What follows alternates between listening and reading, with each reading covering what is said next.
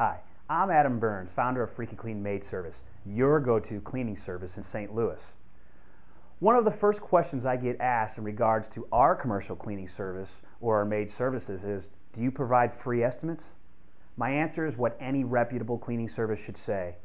You shouldn't pay a freaking dime to have a maid service or a cleaning services company come to your business or home to give you an estimate.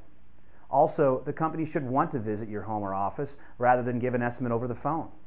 This is a best practice to ensure the estimate is as accurate as possible and that you know exactly what you are getting. Freaky Clean Maid Service offers free estimates for house cleaning, apartment cleaning, and office cleaning services in St. Louis and the surrounding communities. To learn more about what you should expect with your cleaning service, check out our YouTube channel at Cleaning Service Pro.